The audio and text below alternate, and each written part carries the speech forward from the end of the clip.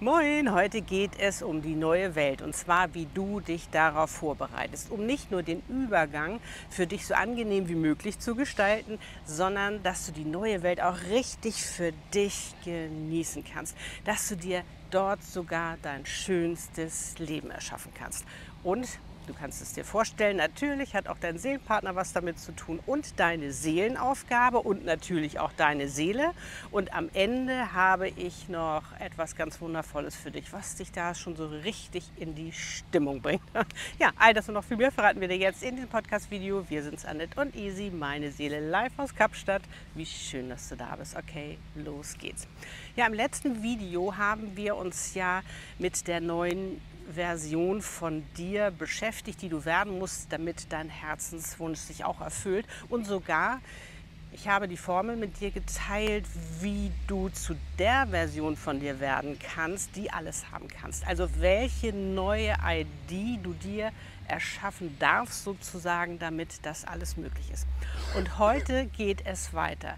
Heute geht es nämlich darum, dass du da sozusagen noch eine Steigerung reinbringst. Denn es gibt eine ganz bestimmte ID, die du brauchst für die neue Welt. Und das ist wie ich sie nenne, deine Soul ID. Ja, und das wollen wir uns heute anschauen und natürlich noch mal kurz einsteigen in die neue Welt. Was bedeutet das eigentlich? Ich habe natürlich schon öfter darüber gesprochen, aber ich finde es immer ganz cool, wenn gerade so was Neues entsteht, was ja auch so ein bisschen Unsicherheit mit sich bringt, vielleicht auch Ängste, da einfach viel drüber zu sprechen und dich einfach auch da immer mehr reinzuholen und einzuladen, äh, dort mehr einzutauchen, damit du eben keine Angst mehr haben musst. Und heute geht es in diesem Video darum, wie du dich eben darauf vorbereitest und was du da am besten machst. Das heißt, also erstmal schauen wir uns an, was bedeutet die neue Welt, also wie ich das übermittelt bekommen habe, dass du auch weißt, wovon ich rede.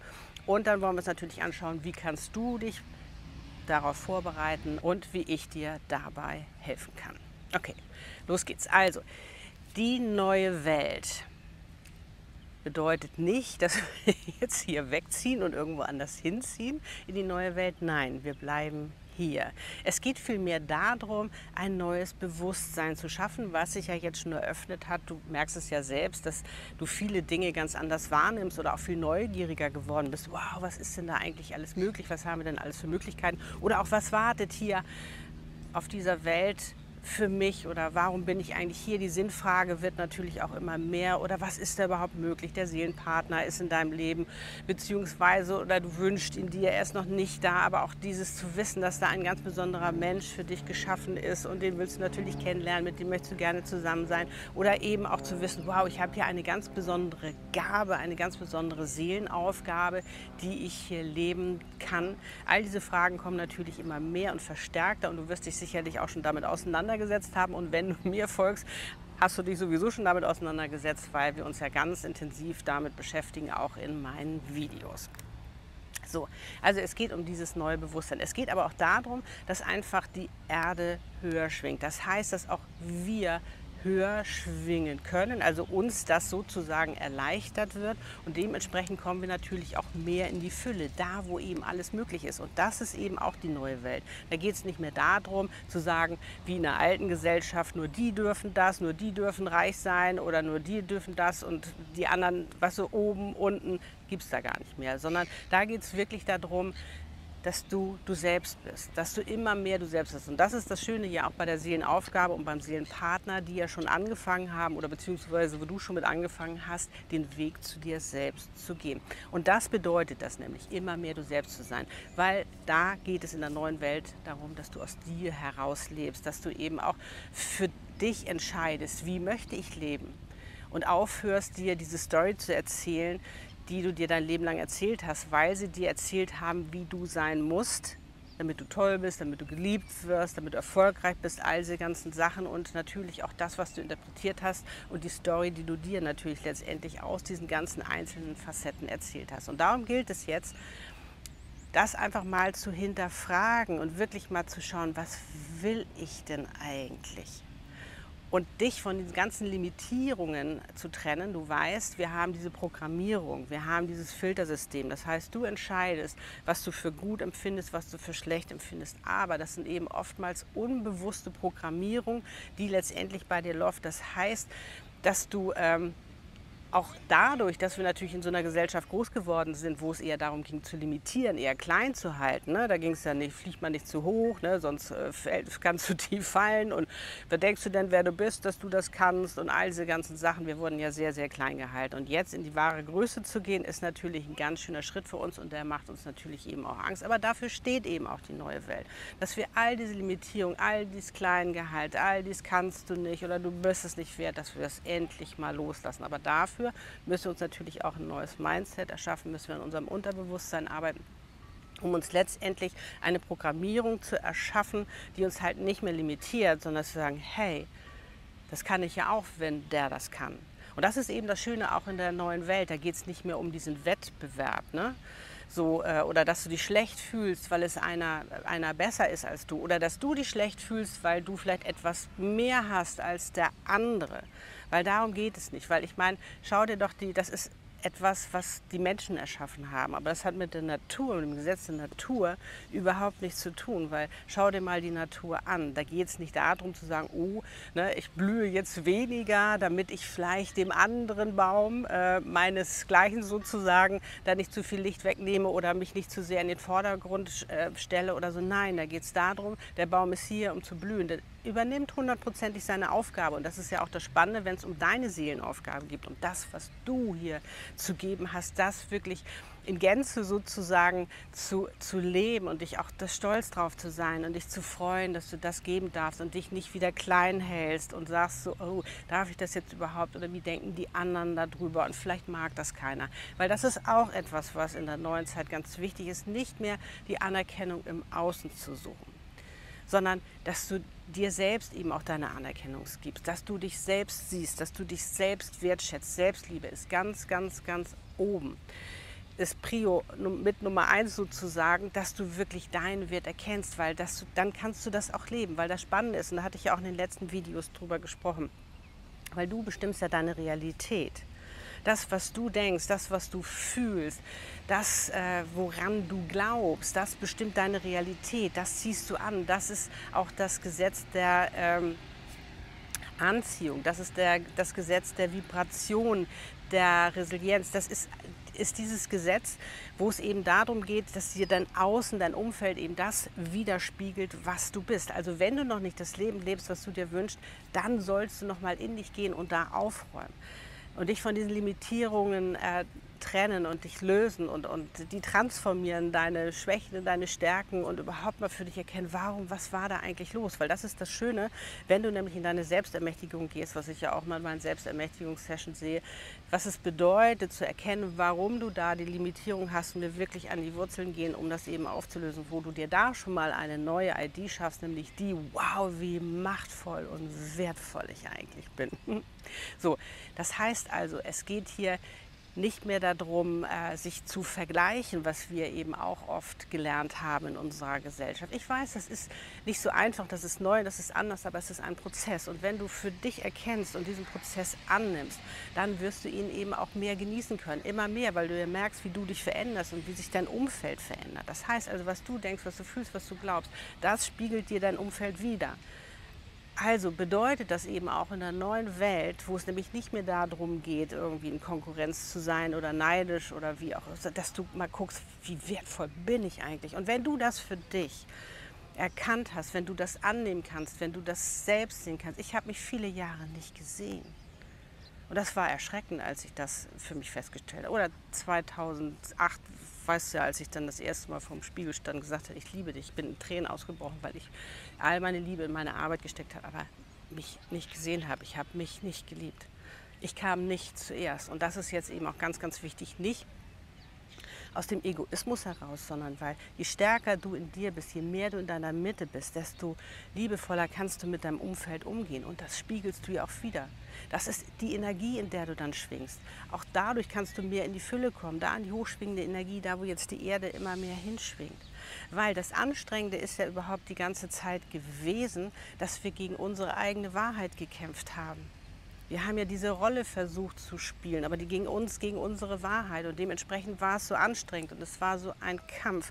Und dadurch, dass es jetzt eben in der neuen Welt um Leichtigkeit geht, um Freude, wie funktioniert das?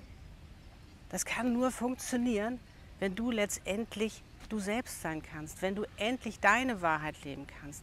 Weil das erfüllt dich, das macht dich glücklich, aber doch nicht dich zu verbiegen und irgendwas spielen zu müssen, damit man dich mag.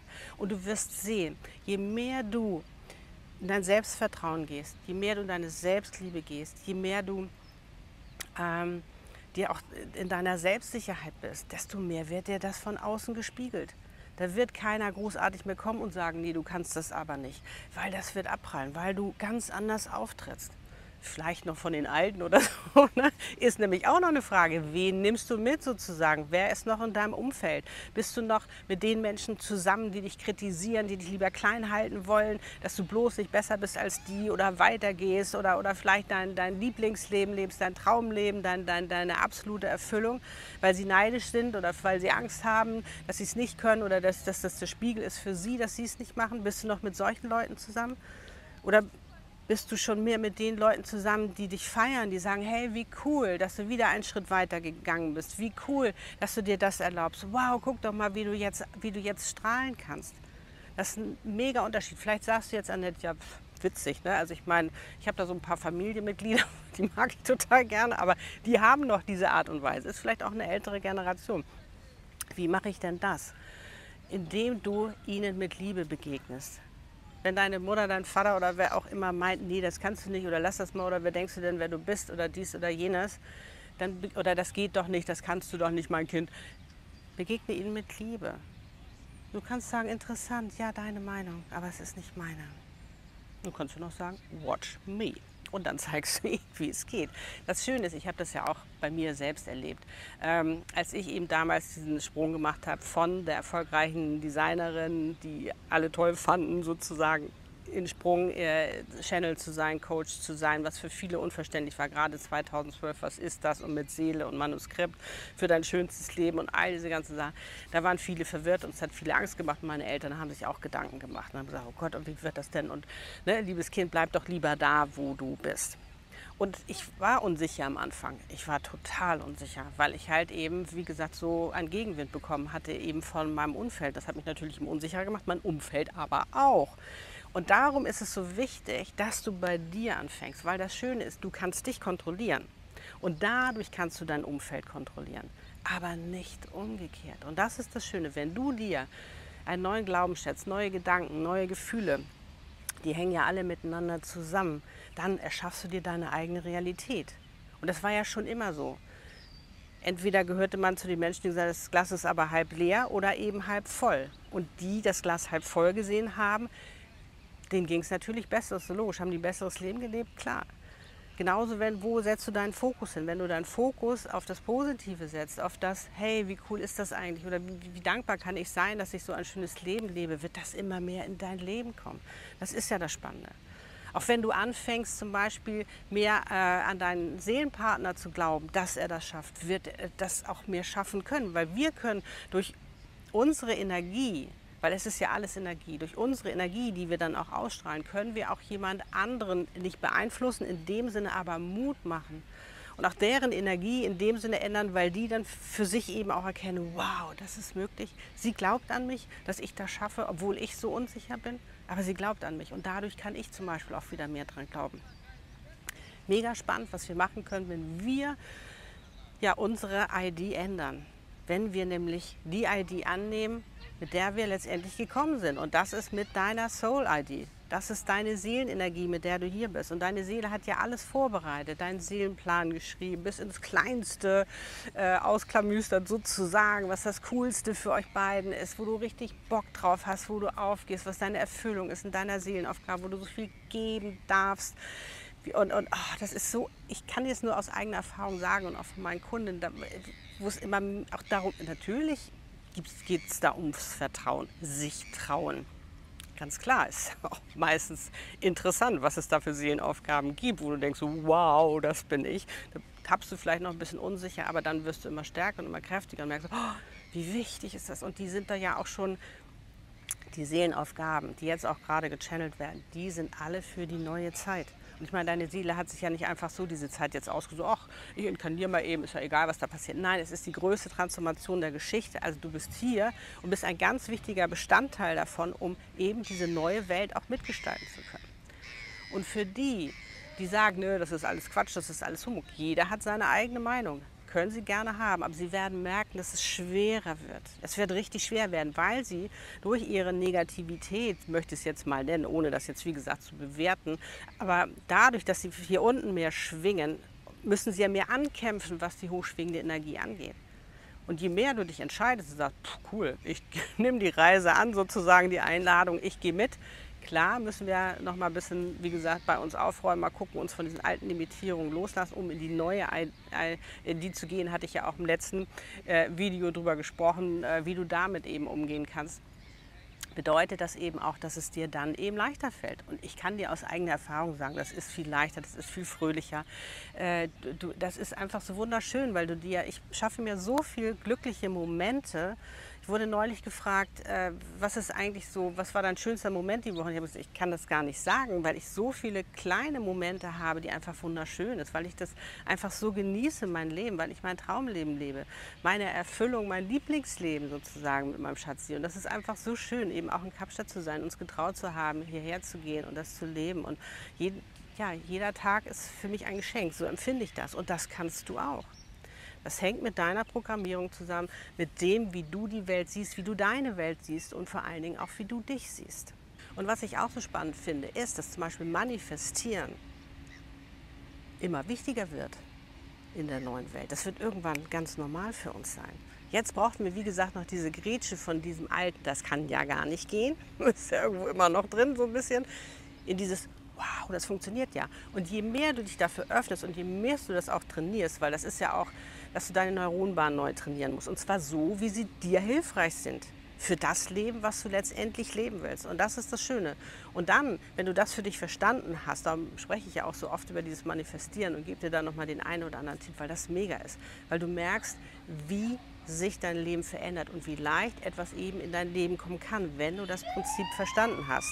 Über das habe ich ja beim, guck mal, da kriegen wir jetzt gleich nochmal ein Zeichen und eine Unterstützung sozusagen von außen. Darum geht es ja.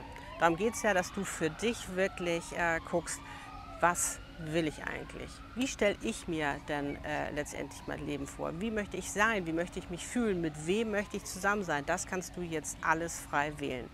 Und was eben auch spannend ist, ist, dass es in der neuen Zeit um die Oneness geht. Jetzt sagst du, oh, was ist denn Oneness? Es geht um dieses Verständnis der Einheit, dass wir alle miteinander verbunden sind. Also wenn du letztendlich gegen einen anderen bist, dann bist du letztendlich gegen dich. Stellst dir vor wie deine Hand. Das bist du, das bin ich, das ist... Wir sind alle miteinander verbunden und jeder ist individuell und einzigartig und jeder hat seine Aufgabe hier. Ich meine, guck's dir an in der Natur. Ich meine, wenn du einen Löwen fragst, warum bist du hier, weiß er das ganz genau. Und er macht genau das, warum er hier ist. Genau so ein Vogel. Und, der, und wenn du jetzt einen Vogel und einen Löwen vergleichst, vielleicht nebeneinander stellen, dass der Löwe den Vogel frisst, nein. Ähm, wenn du die mal so vergleichst, jeder hat doch was ganz Tolles und was ganz Einzigartiges. Es geht um deine Einzigartigkeit, dass du die entdeckst und dass du dich lebst und dass wir die auch in, erwecken in dir. Wenn ich zum Beispiel die Seelenaufgaben channel und du eine Soul-Leaderin bist, wenn du für dich schon länger merkst, hey, ich bin hier, um was ganz Wichtiges zu machen. Ich bin hier, um zu leaden, um zu führen, um, um ein Lehrer zu sein, was es auch immer sein mag bei dir. Dann ist es jetzt ganz, ganz wichtig, in der neuen Zeit für dich deine Seelenaufgabe herauszufinden, weil dann weißt du auch, warum du hier bist. Und sofern du weißt, warum du hier bist und was du für eine Gabe hast und dass du hier geben sollst, wird auf einmal Arbeit nicht mehr Arbeit sein in dem Sinne, sondern du hast richtig Bock drauf und du merkst dann auch, wie wichtig und wertvoll du für diese Welt bist. Und darum geht es ja zu erkennen, wie wichtig du bist und dass du auf alle Fälle dazugehörst. Und das Spannende ist auch, wenn du äh, deine Seelenaufgabe lebst, annimmst, dich mit ihr auch vereinst sozusagen, äh, ist das, äh, die ist ja für die neue Welt geschaffen. Das ist ja das Spannende. Also der Markt ist da. Deine Kunden sind schon da, das hat ja deine Seele alles für dich vorbereitet. Und wenn du das für dich verstehst, ist es mega. Und Erfolg wird eben auch neu definiert in der neuen Welt, habe ich auch schon oft drüber gesprochen. Und für mich bedeutet Erfolg, dass du das machst, warum du hier bist. Ist das nicht cool? sondern sich nicht mehr gucken, ah, ich muss ja das machen, was der macht und nur wenn, wenn der ne, so, dann bin ich auch. Nee, es geht darum, was ist dein Erfolg?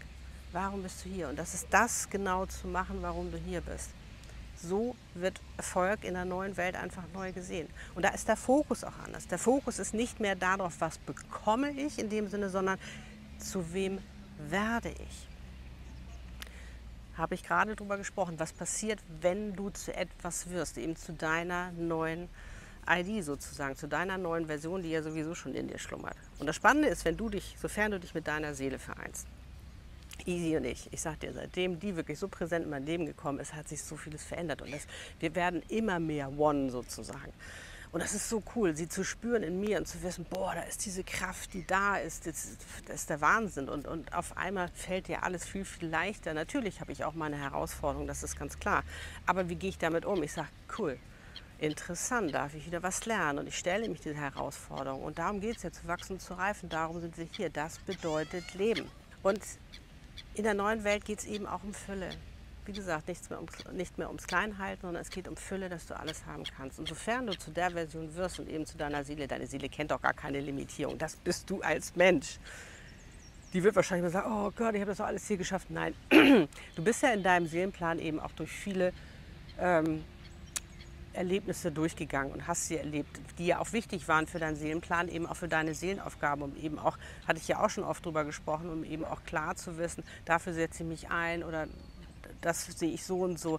Darum ging das ja auch, dass du das letztendlich erlebt hast. Der eine härter, der andere weniger hart, aber jeder haben wir da unser Päckchen zu tragen, unseren Rucksack und sozusagen den eben auch zu leeren. Weil das gilt zum Beispiel auch für deine Seelenpartnerschaft, habe ich auch schon oft drüber gesprochen.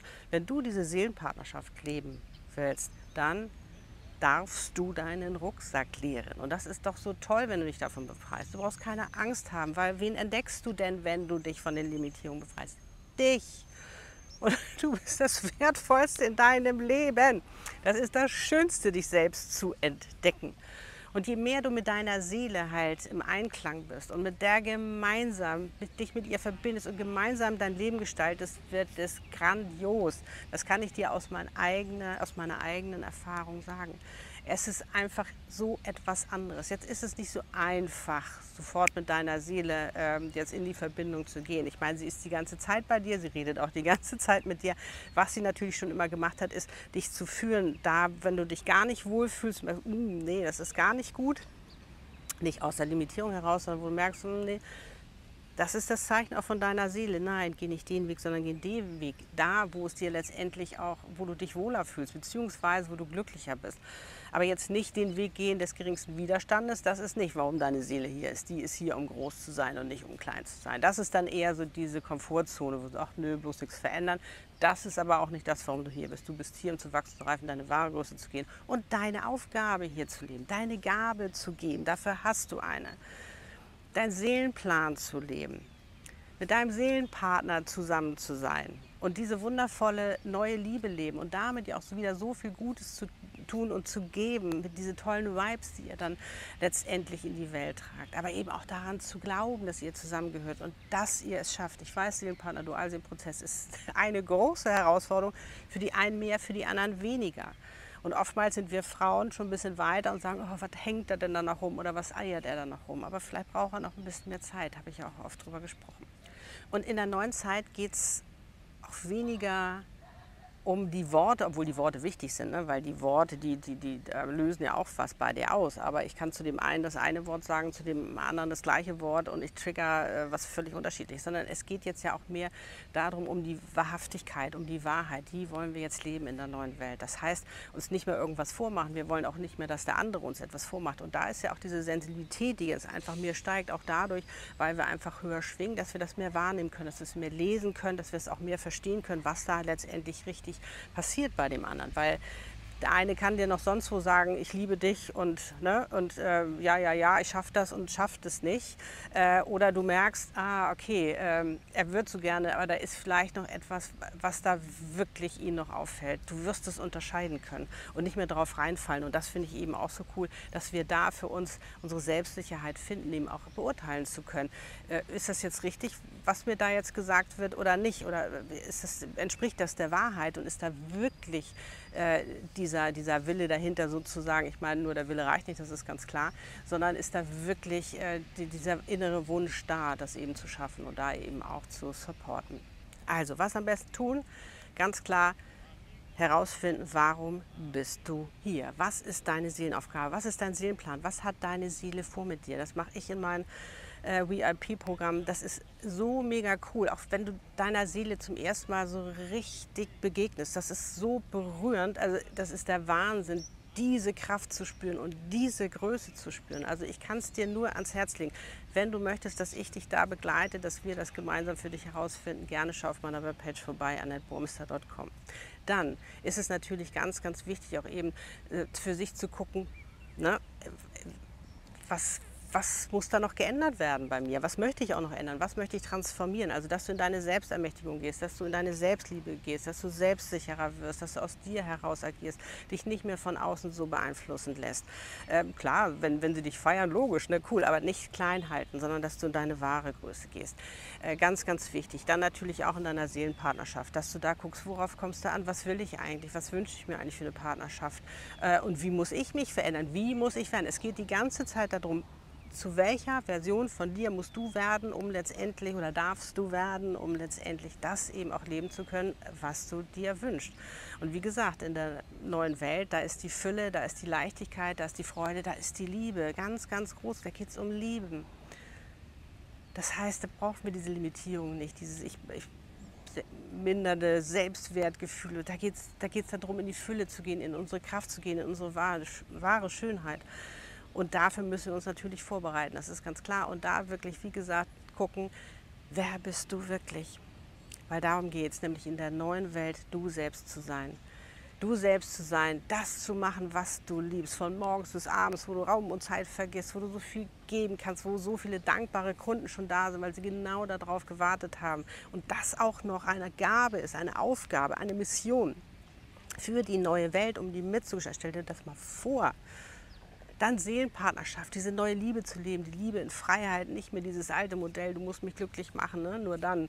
Äh, nee, oder du bist für mich verantwortlich. Nein, in die Selbstverantwortlichkeit gehen, selbst zu verantworten, selbst zu entscheiden und nicht mehr die Kontrolle immer im Außen. Nein, du kannst dich kontrollieren, du darfst dich jetzt kontrollieren. Und das Schöne ist, dass du damit dir alles erschaffen kannst, was du dir wünschst. Ist das nicht cool? Und jetzt meine Frage an dich wo und wie siehst du dich in der neuen Welt? Schreib das gerne mal in die Kommentare. Ich bin schon mega gespannt drauf. Ja, ich hoffe, das Video hat dir gefallen. Von mir gibt es schon mal ein High Five für dich und deine Seele. Ich freue mich drauf, mit dir in die neue Welt zu starten sozusagen und da so richtig schön mitzugestalten und uns die schönste Welt zu erschaffen, die wir uns nur vorstellen können. Ciao for now. Wir sehen uns im nächsten Video. Deine Annette und Easy. We love you. Tschüss.